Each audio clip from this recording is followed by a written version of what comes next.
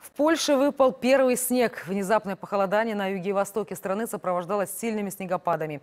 Уже несколько суток ночная температура в регионе опускается до 8 градусов.